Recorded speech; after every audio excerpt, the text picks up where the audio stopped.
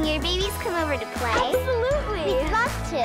Baby in my pocket, so cute, so small. so sweet, you can't collect them all. All new. So many teeny tiny babies to love. My baby's hungry. Baby in my pocket.